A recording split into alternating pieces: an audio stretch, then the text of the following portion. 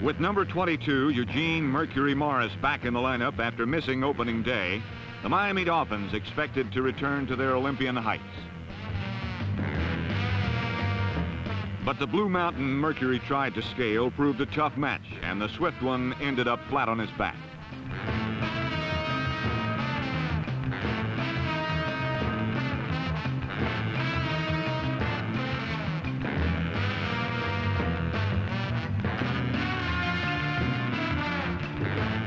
Then while the Buffalo Buffalo walked all over a dolphin effigy, Mercury in returning to the huddle ended up flat on his front.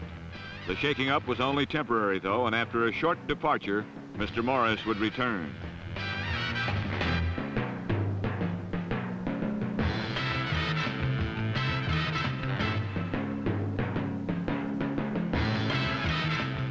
Meanwhile, his Buffalo counterpart, O.J. Simpson, was running beautifully, but carrying poorly.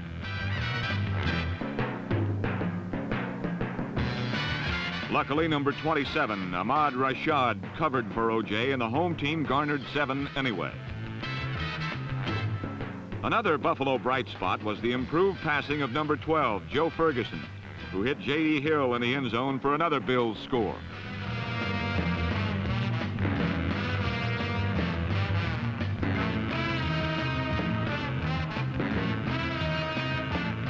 For the second week in a row, the Dolphins were less than impressive making uncharacteristic mental and physical miscues like this Mercury Morris fumble with alarming frequency.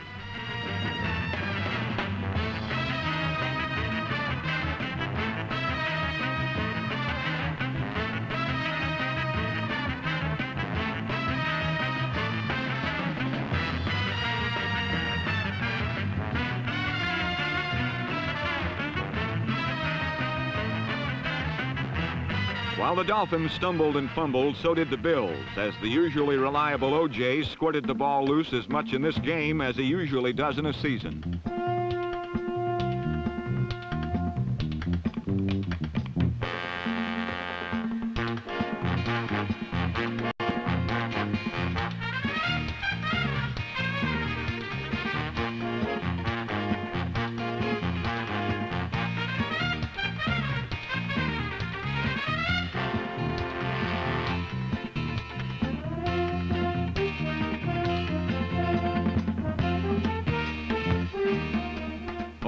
Mistake proved costly when Bob Griese was able to fire the ball to number 88, Jim Mandich, who eluded a cleverly disguised Buffalo defender for the touchdown.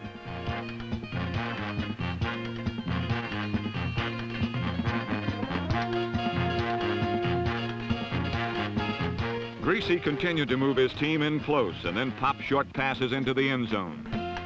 This one to number 80, Marv Fleming, put the Dolphins on top to stay. Then Mercury mountain climber Morris found an easier route over and through the Bills to wrap up the Miami victory 24 to 16.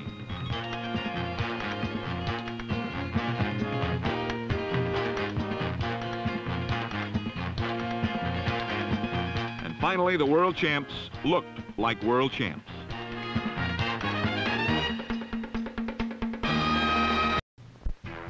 Don Shula's Dolphins wanted an early edge on the Chargers, so on the game's second play from scrimmage, Bob Griese hit tight end Jim Mandich, and Mandich took off.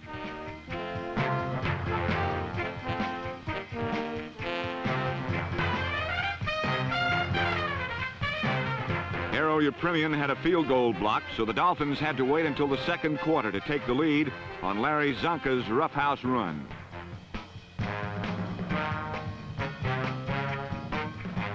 Number 14, Dan Fouts, brought San Diego back to a halftime tie with a last-minute pass to number 89, six foot seven inch tight end Wayne Stewart.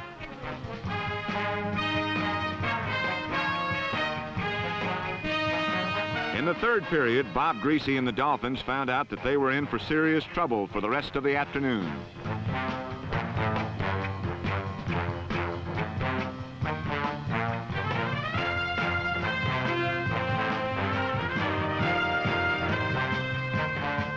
Before they knew what hit them, the Dolphins were behind 21 to 7 on two touchdowns by Don Woods, number 33, a rookie from New Mexico Highlands.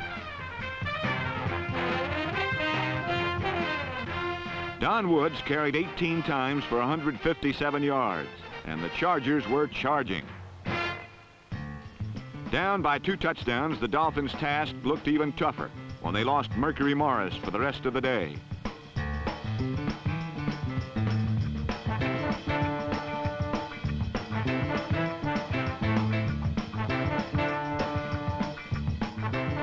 Fourth quarter, needing three scores to win, Bob Griese looked for and found help from a new source. Wide receiver Nat Moore, number 89. The five foot nine and a half inch rookie from Florida accounted for most of the distance as Miami closed to within one touchdown midway through the final period.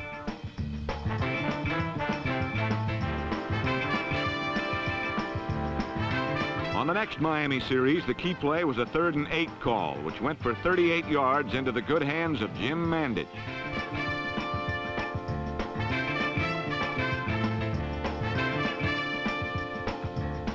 The final 16 yards to the end zone were covered in two thrusts by Larry Csonka.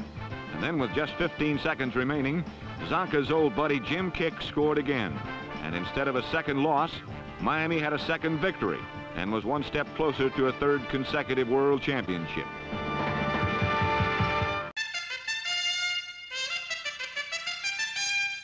In 1974, Miami came alive at night. Bright lights found the Dolphins at their best. Against the New York Jets, Bob Griese filled the night air with footballs to tight end Jim Mandich.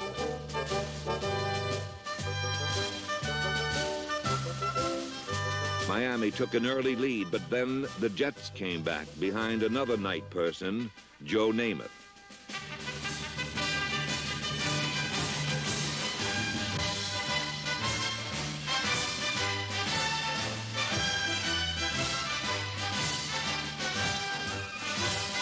Namath brought New York to within four points.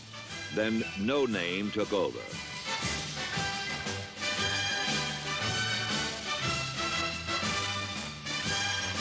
All during an anxious fourth quarter, Namath kept taking shots at the end zone, and No Name kept breaking them up. In the end, Miami rolled right over Joe and the Jets for a 21-17 victory. Washington summoned their version of the cavalry early against Miami as number nine, Sonny Jurgensen, drew his first starting assignment of the season. Famous for a cool head and a buggy whip release, the 40-year-old master cracked out medium gainers through the Dolphin zones early.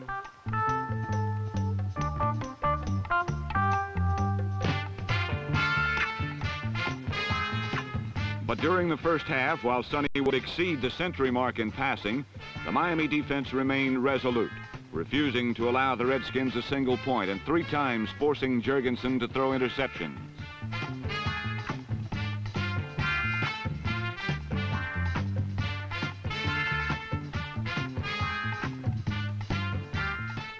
Number 25, Tim Foley, shut off Washington's most promising drive of the first half with a key end zone theft.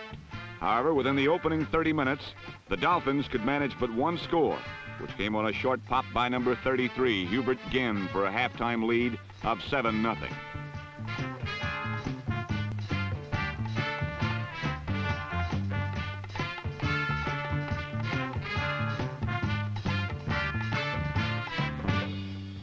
The Redskin defense set the tenor of the second half.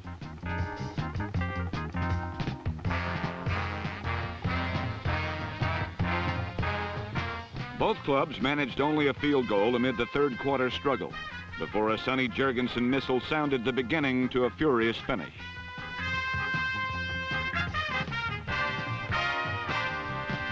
Jurgensen's guided projectile homed in on Roy Jefferson for a touchdown and coupled with a field goal forced Bob Griese and the Dolphins to overcome a 13-10 lead.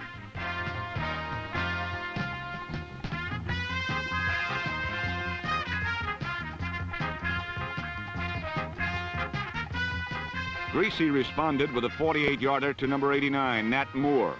But from the Redskin 13-yard line, faced a crucial third and 11 within the final two minutes.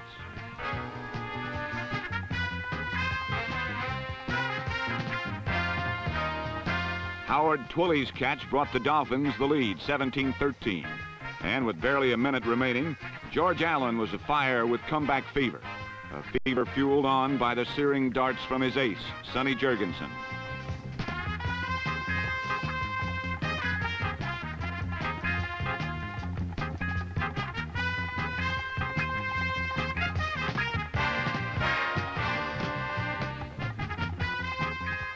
With less than 20 seconds remaining and no more timeouts, Sonny had one last chance. Number 38, Larry Smith, barely crossed the imaginary plane of the end zone to complete a 2017 Washington victory. The win was but further evidence of the sheer greatness of a healthy Christian Adolph Sonny Jurgensen, which when added to a solid team effort, helped to keep the Redskins within striking distance of the streaking St. Louis Cardinals.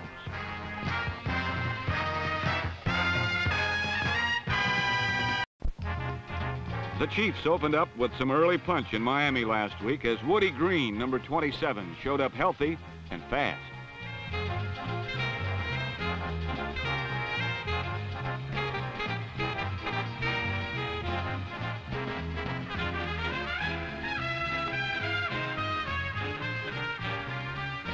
The rookie from Arizona State also showed enough moves to give the Kansas City offense the perk it has needed this year.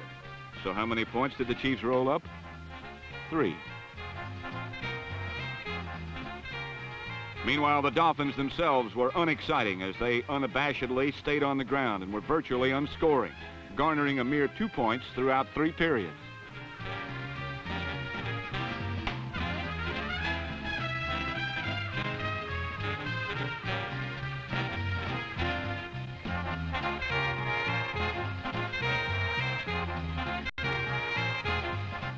Bob Griese did try the sky route, he was shot down three times by the likes of number 20, Mike Sensibaugh.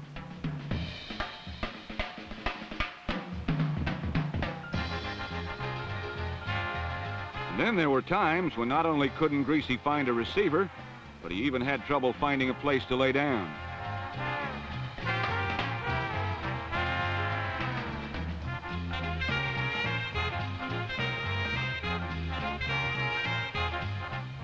Miami's two points came on a blocked punt that trickled out of the end zone. It was one of the few good plays pulled off by the Dolphins who have either lost their greatness or have placed a strict ration on it because each week they look a little less like the powerful world champions of yesteryear. Finally, they did come up with a big play on a Griese to number 89 Nat Moore strike that appeared six-point bound.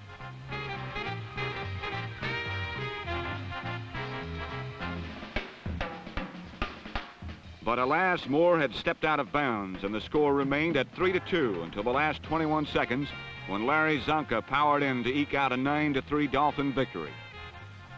And if a loss can be a moral victory in some cases, then Miami's victory could be considered a moral loss.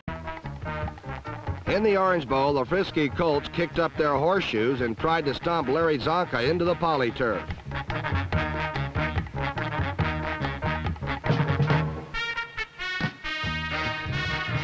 But it wasn't a pad-popping stick that did Csonka in, but the treacherous green carpet that refused to yield to Csonka's change of direction.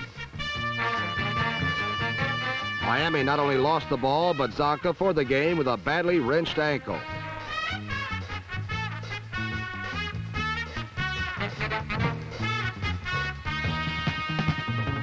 Clinging to a tenuous three-point lead, quarterback Bob Griese went for six with a rainbow to rookie receiver Mel Baker. The bomb to Baker was a stride too long. And like a fish out of water, the Dolphins looked like an easy catch as Baltimore drew the net tighter on mighty Miami.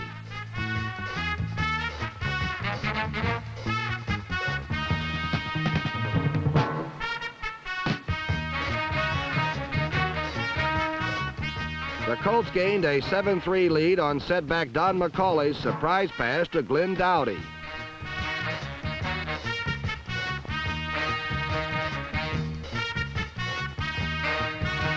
But Miami roared back on touchdowns by veteran Don Nottingham and rookie Benny Malone, number 32.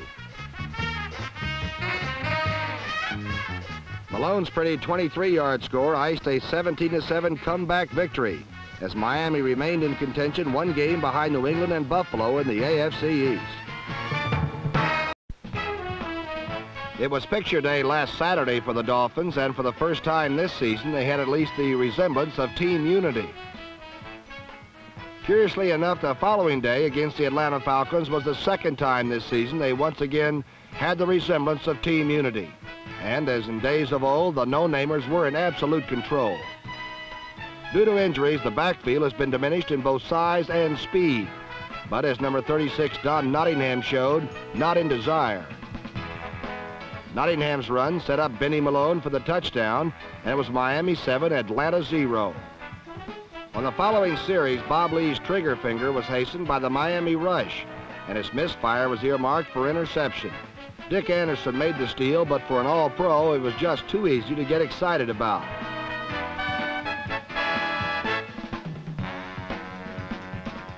Having regained possession, the offense showed they deserved it, as number 89 Nat Moore did some real nice trucking.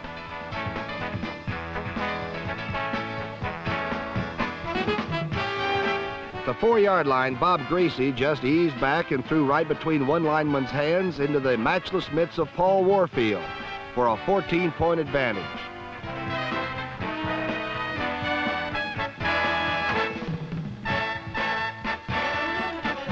Was not a complete shutout for Atlanta, however, and the primary reason for that was the darting figure of number 43, Dave Hampton. But when you get right down to it, Atlanta wouldn't have scored at all if it hadn't been for three major penalties and a super catch by number 41, Al Dodd. Finally, number 43, Dave Hampton, found a wee speck of daylight, and the Falcons avoided a shutout. It was a big day for Bob Griese as he executed play action superbly and passed even better.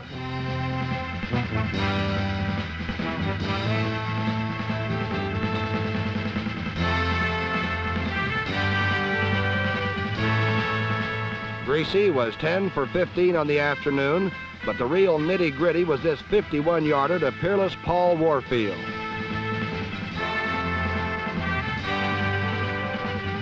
It was an important catch for Miami as it marked Warfield's return from more than a month of injury. With the defense turning over yet another possession, Griese turned his heavy artillery downrange once again, and he found number 88 Jim Mandich to make it Dolphins 28 Atlanta 7.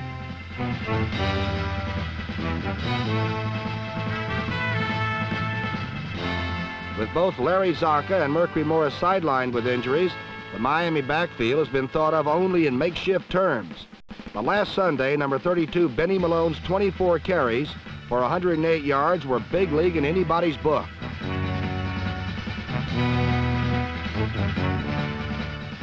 And once in close, Don Nottingham's three touchdowns were certainly as Csonka-esque as the real thing. And after the little Cypriot tiemaker added the final point to Miami's 42-7 rout of Atlanta, one could feel the unmistakable return of Dolphins' super team togetherness. When the Dolphins arrived in New Orleans last Sunday, who could blame them for being confident? Despite numerous injuries, they were winning, and now they had back their almost indefensible big play battery, Bob Griese, to Paul Warfield.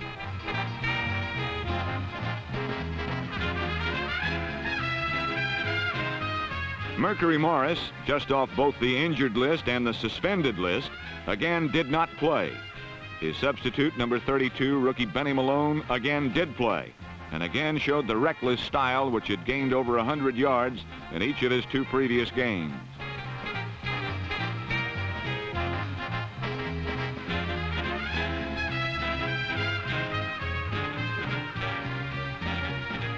With the running game running hot, Bob Griese faked a run and threw over the Saints' goal line defense to tight end Jim Mandich. The first two times the Dolphins had the ball, Griese marched them to easy touchdowns. The second on a perfect post pattern pass to rookie receiver Nat Moore, number 89.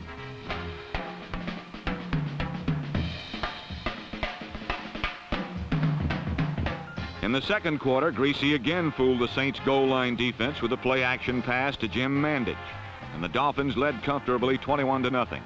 The Saints could muster few offensive threats until the second half, when Archie Manning took matters into his own hands.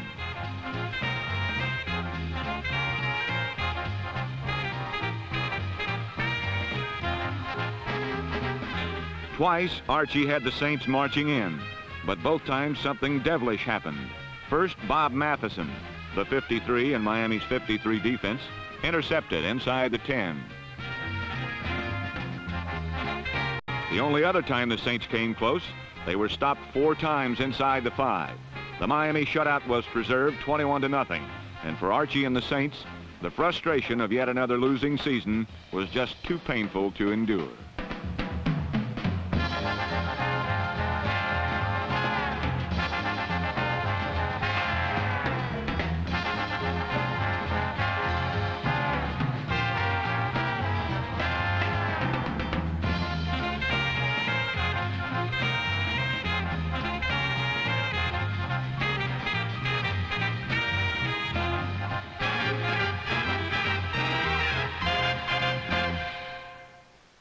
The Miami 41-yard line. But number 84, Bill Stanfill, then reclaimed eight yards of Miami territory.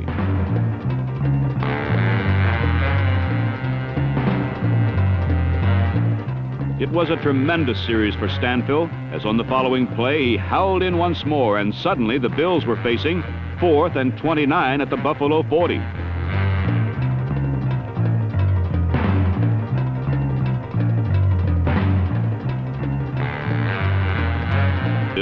And the man you'd guess least likely to err coughed up the ball on the Bills' 17-yard line.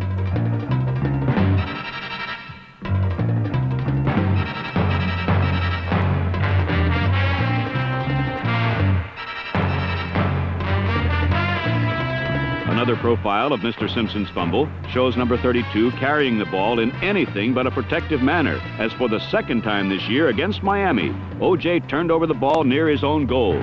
Taking possession on the Buffalo 35, Bob Griese didn't waste any time as he zapped the pass to number 89, Nat Moore, who trudged all the way down to the Buffalo nine-yard line.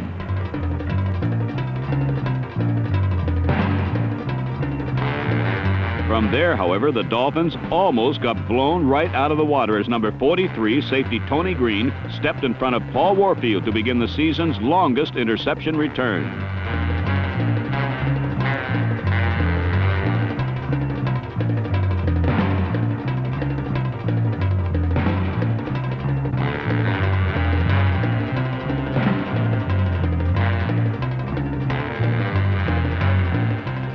One hundred five yards later, Mr. Green was an exhausted figure in the Miami end zone. But Green was not half as tired as he was disappointed when he learned a penalty had nullified his performance. There were certainly no complaints from Miami as Csonka slanted into the Bills' end zone for the game's first score and a 7-0 advantage over the snake-bit Buffalo Bills. Soon afterward, Joe Ferguson was trying to generate some offense by doing all he could to allocate more time for Buffalo receivers to work against the Miami zone.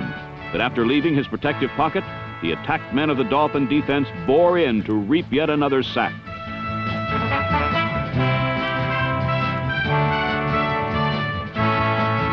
Heat shows Griese's classic form as he dropped deep behind leak-proof protection before stepping up to heave the bomb to Paul Warfield, who had one step on number 42, Neil Craig, and that was good enough for a touchdown.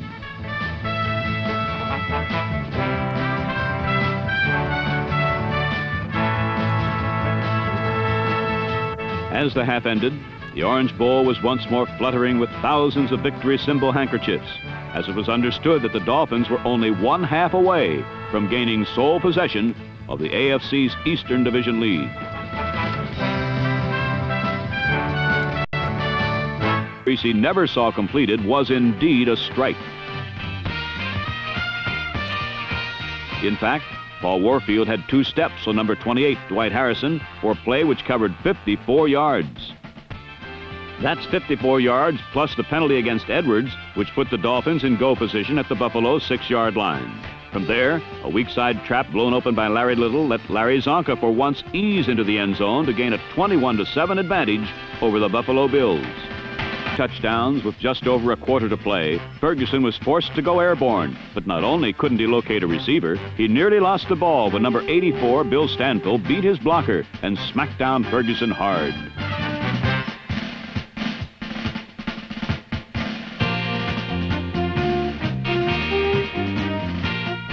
However, Hagen saved the Bills, but though Miami had lost a chance for a big break, Buffalo had lost much more.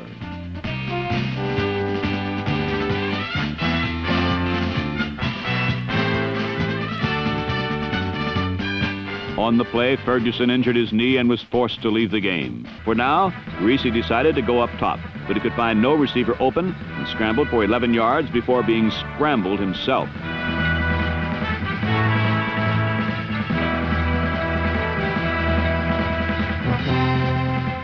Looking at the play from another angle, we can see that Griese again felt pressure from number 73, Earl Edwards.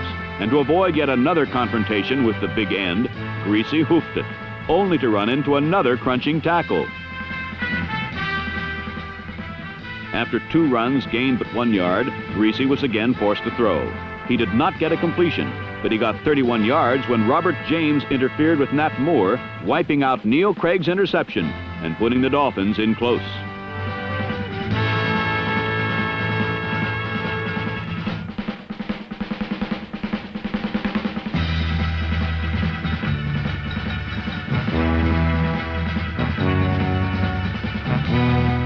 From the Buffalo 11, Don Nottingham made his first contribution to Don Shula's genius rating.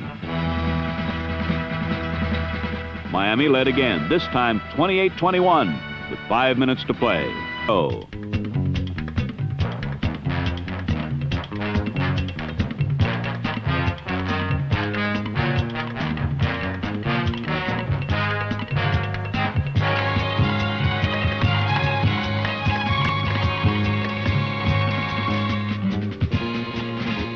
First down. Griese dropped straight back and hit Warfield for his third big play, good for 31 yards.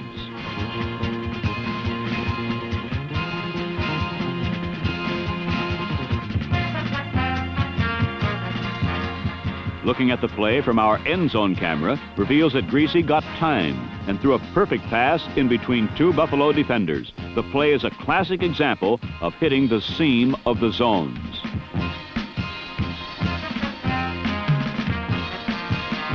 Griese next hit Jim Kiick for another first down, then gave him the ball on a run that yielded yet another first on the Bills' 23.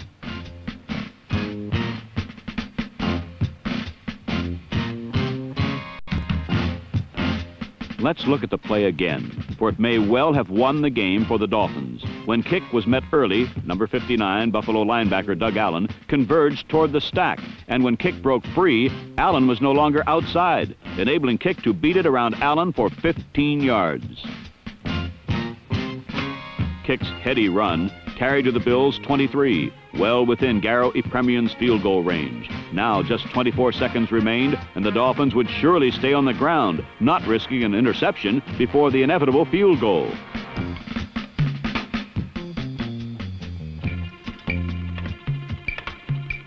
Griese noticed that the Bills, hoping to force a loss, had a blitz on and called an audible at the line. It was the right call.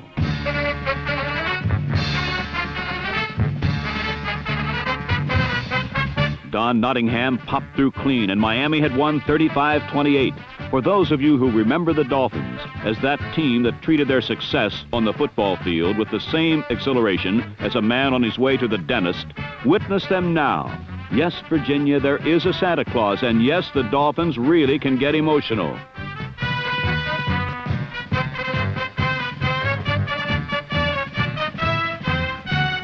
There was good reason for this final bit of uncharacteristic Dolphin behavior.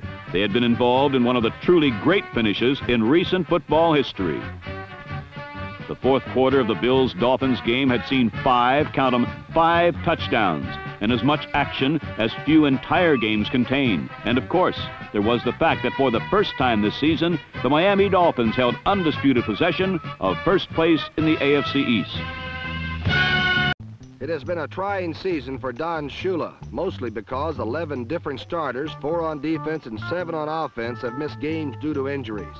The last week against Joe and the Jets, the Dolphins appeared at first to have everything under control. After a close inspection of the Shea Stadium turf, Joe Namath decided it was time for a little landscaping. Having established a firm foothold, Namath accounted for the only score of the first half with a play-action rollout pass to his 6'5 tight end Rich Caster, number 88.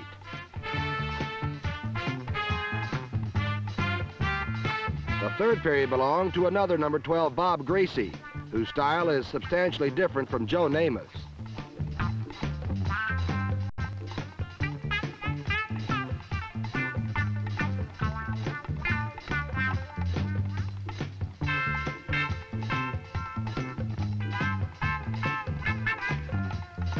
Bob Griese can scramble and he can run.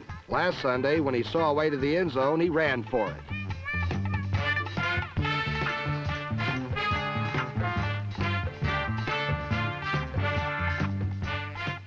Griese's touchdown tied the game at seven, and except for a New York field goal, there was no more scored until midway in the fourth period when Griese threw a lateral pass to wide receiver Nat Moore, who did a pretty good job of getting the ball downfield to the other wide receiver, Paul Warfield.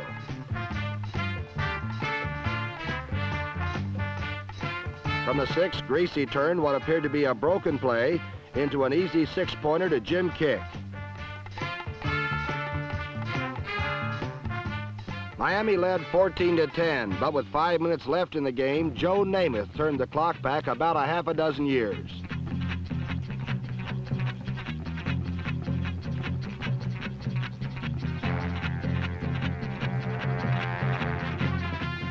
As number 88 Rich Caster said after the game, we showed them a formation they hadn't seen all day. They got mixed up and I got wide open behind them.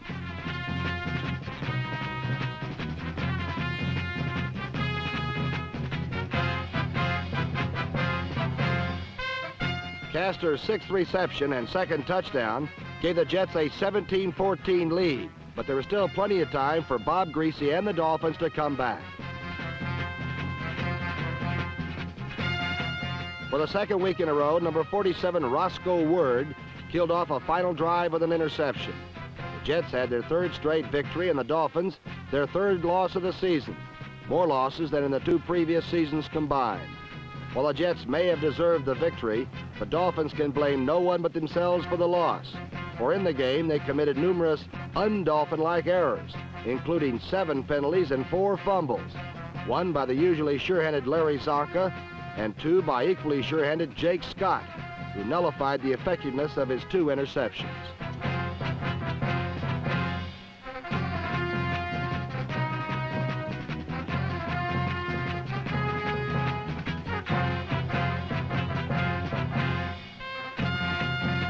The Miami errors were not limited to the offense and defense, for the usually impeccable Dolphin special teams also erred at least four times.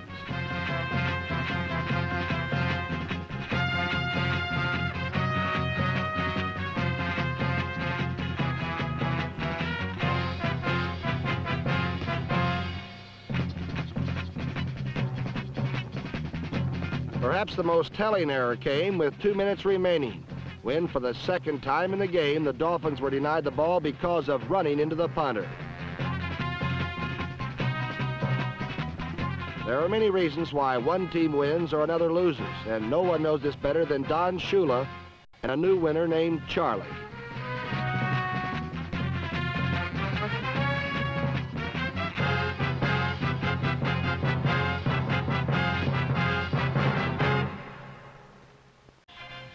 The night air seemed to bring out smiles and Miami invincibility. In a twilight game against Atlanta, the Dolphins took their cue to blitz in and bury the Falcons. The offense flew on the winged feet of Nat Moore. Everything came together as the offensive line blocked and Don Nottingham blasted for a resounding 42-7 triumph. But the Dolphins' finest team effort came under the lights against Cincinnati. The Bengals had to win for a playoff spot, but Don Shula had his ball control offense back in high gear.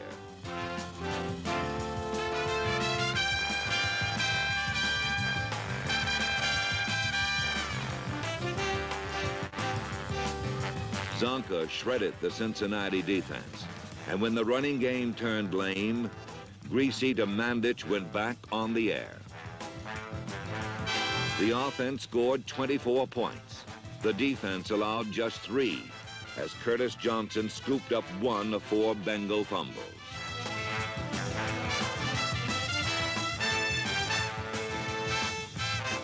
Yes, bright lights brought back the good times, but the Dolphin defense weathered its storms too. Throughout the 74 season, the Miami Dolphins have labored under the sternest of pressures in their quest for an unprecedented third consecutive world championship. They have won often this year, but often unconvincingly, and last Sunday their struggle against the Colts in many ways reflected the story of their season. Bob Griese got his teammates underway on their first possession with a no-nonsense strike to Jim Mandich, good for 20 yards.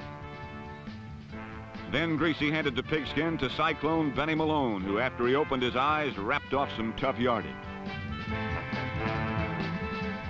After Malone's excursion, Bob Griese very coolly waited in his protective pocket until someone got open. And sure enough, number 81, Howard Twilley, turned up unescorted, and it was suddenly Dolphins 7, Colts nothing. And while the Colts were experiencing somewhat of a defensive breakdown, their Miami counterparts were putting it all together to make life singularly miserable for Bert Jones. The defense's biggest play, however, came when number 38, Bill Olds, fumbled directly into the always eager hands of number 40, Dick Anderson, who took it all the way back to the Colt 35-yard line.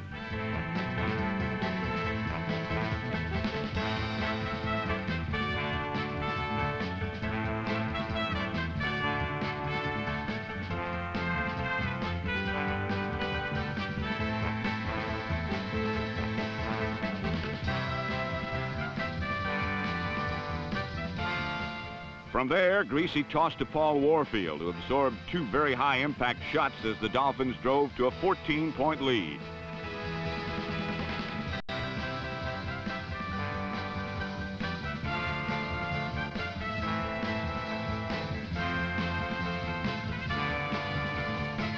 On the next series, however, the Colts commenced a comeback as Jones to number 81, Roger Carr, covered 57 yards.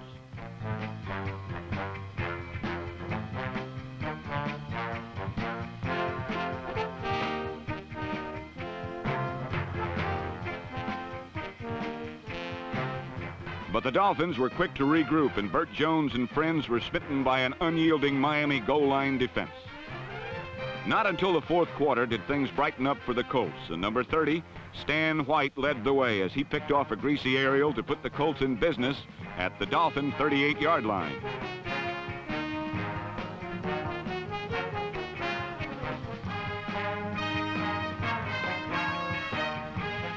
One play later, number 38, Bill Olds, had the Colts 34 yards closer with a ramble to the Miami four-yard line.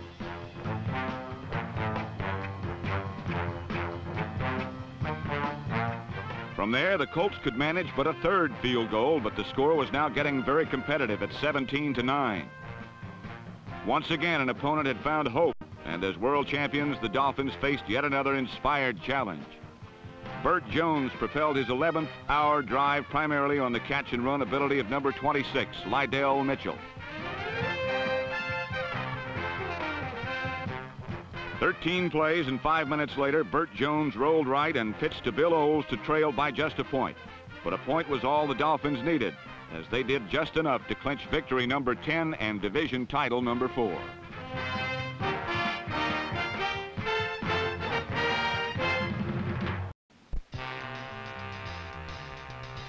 It had been a long, hard fall from possible playoff contention to non-contender. But the New England Patriots aren't without an excuse.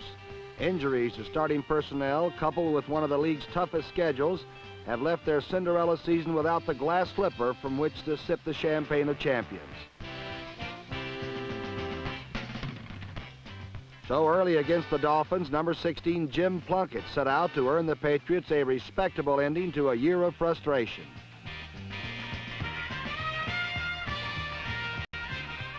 Plunkett engineered New England to the Miami three-yard line, where one of their least used plays gave them the lead. New England received a break when offensive guard John Hannah covered Plunkett's miscue in the end zone for seven points. Then the Patriots defense forced a six-point turnover out of the usually error-free Dolphins.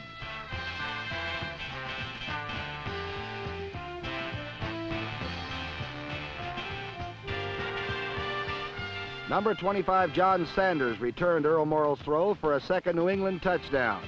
And when Miami fumbled away the following kickoff, a Jim Plunkett to Mack Herron connection placed New England ahead by 21 points. It was the second quarter and 24 to nothing before Earl Morrall and the Dolphins finally began to play some football.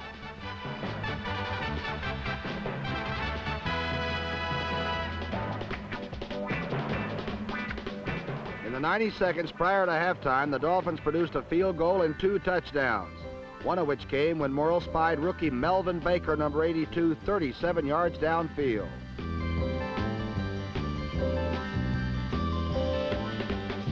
Trailing by a touchdown in the third quarter, Earl Morrall went back to a good fade. Number 82, Melvin Baker.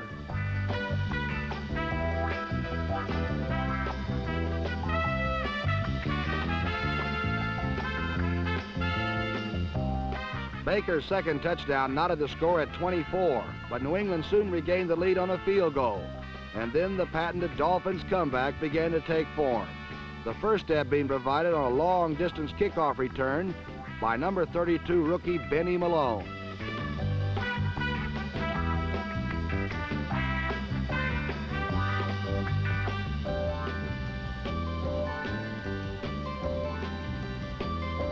Miami's first lead of the day came when Don Nottingham completed a short march with a short score and added with another field goal gave the Floridians a 34-27 lead.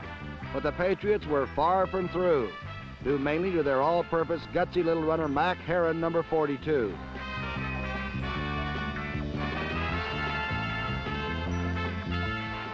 On a 10-yard trip around right end, Minnie Mack Herron broke the NFL record for total yards in a season held by Gale Sayers. His final sum amounted to 2,444 yards gained by rushing, pass receiving, and kick returning. Herron's heroics weren't enough to give his squad the victory, however, as the Miami Dolphins edged the New England Patriots 34 to 27. An inexperienced Miami team had come to Oakland for its first playoff game in history.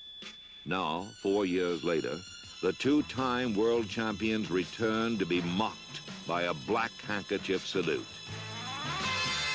On the opening kickoff, Miami saluted back.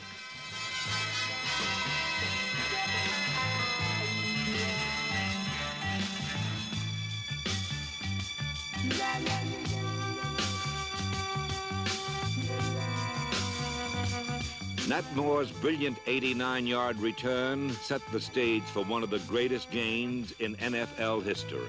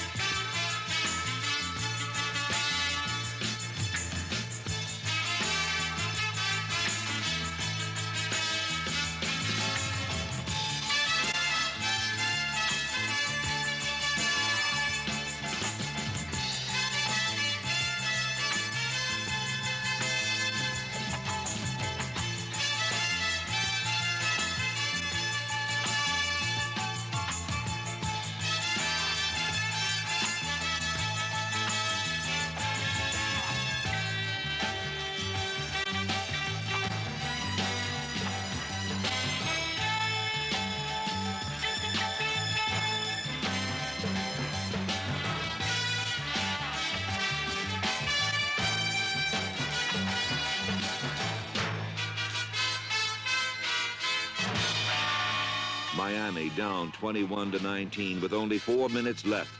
The determined Dolphins came back one more time.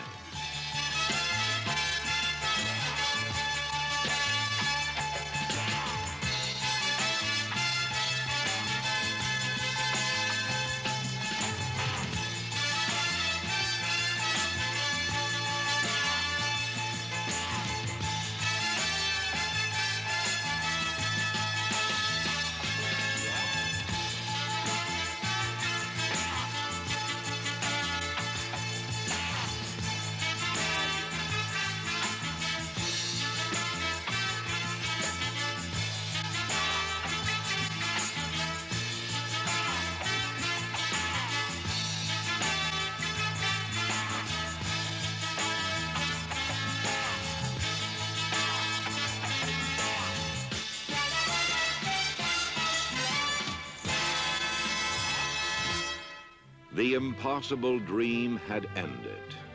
A classic struggle had run out of time with Oakland on top, 28 to 26. But there was no disgrace in defeat. Miami accepted their loss as they had welcomed their victories with dignity and heads held high. Don Shula looks toward the future, for the Dolphin dynasty did not die in Oakland. New goals await to be set and accomplished. And dreams for the future are the grandest of all.